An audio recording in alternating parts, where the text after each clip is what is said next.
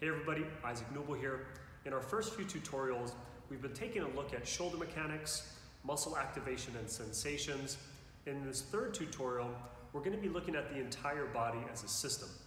We're gonna be covering something called the kinetic chain, one of the most important principles in biomechanics and something that every athlete and coach should understand.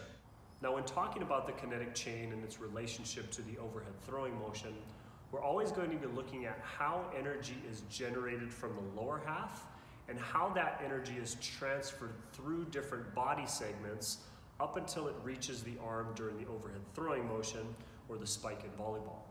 The kinetic chain refers to a very specific and coordinated sequence that the body goes through to produce peak arm velocity.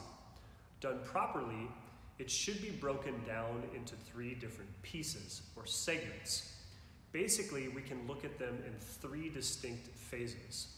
The hips or pelvis should rotate or move forward first. The trunk or torso should move or rotate second. And the arm, the throwing or hitting arm, should move through last.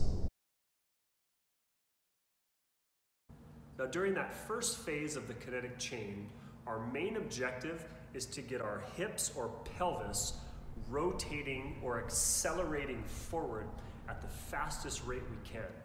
Now the muscle that's responsible for that acceleration of the hips is the gluteus maximus, or glute for short. That muscle needs to be contracted heavily and forcefully to help drive that right hip if you're a right-handed thrower or hitter, forward at an extremely fast rate. Now this motion is a universal one.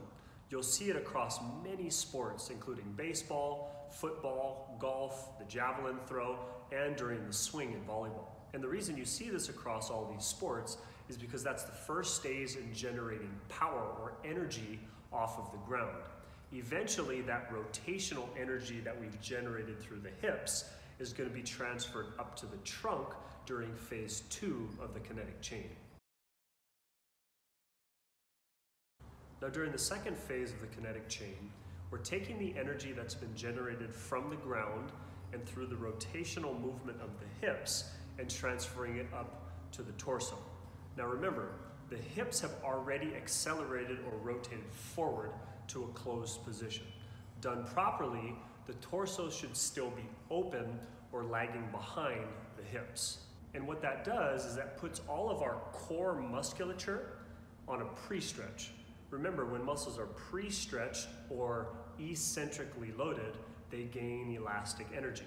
So now, when we're actually activating the left side of our body, more specifically our left oblique if you're a right-handed player, we can now activate or rotate that torso forward even faster because those muscles are on a pre-stretch. And now for the third and final phase of the kinetic chain. This is where the last segment, which is our throwing or hitting arm, is gonna come through. So remember, our hips and our torso have already rotated forward to a closed position. If we're doing it correctly, the arm should be all the way back behind us in external rotation. That means those internal rotators are now being stretched, very similarly to how our core musculature was stretched once our hips went through. As they gain elastic energy, the arm will catapult forward naturally on its own during the acceleration phase. To summarize, the kinetic chain is the most efficient and effective way the body produces force. It's broken down into three distinct segments and phases.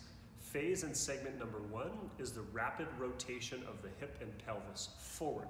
The muscle responsible for that is the gluteus maximus. Now, as those hips rotate forward to a closed position, our torso should be lagging behind, still in an open position.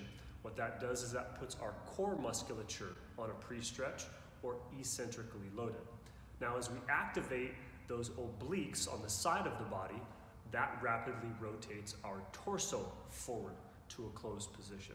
Now segment number three, or phase number three, is the rapid internal and external rotation of the shoulder joint. As that shoulder or arm goes back into external rotation, that places the internal rotators on a pre-stretch or eccentrically loaded. As they gain elastic energy, the arm will now catapult forward naturally. So as you can see, we've taken both the kinetic chain and the most important principle in biomechanics, torque, and used it and applied it to the human body to get a twisting force, a stretching force, and the fastest motion in the human body. And remember, it takes a lot of hard work, practice, and discipline to put these principles into motion. Done correctly, they'll significantly improve your game. Once again, my name is Isaac Newell. Thank you for your time. More videos on the way.